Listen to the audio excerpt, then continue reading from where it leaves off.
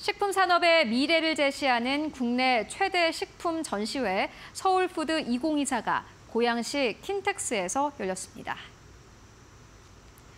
이번 행사에는 역대 최대 규모인 전 세계 52개국 1,605개사 2,969개 부스가 참여해 healthy pleasure 트렌드에 따른 저당과 대체육, 글로벌 시장에서 인기를 얻고 있는 한식 등 다양한 미래 식품 산업의 키워드를 제시했습니다.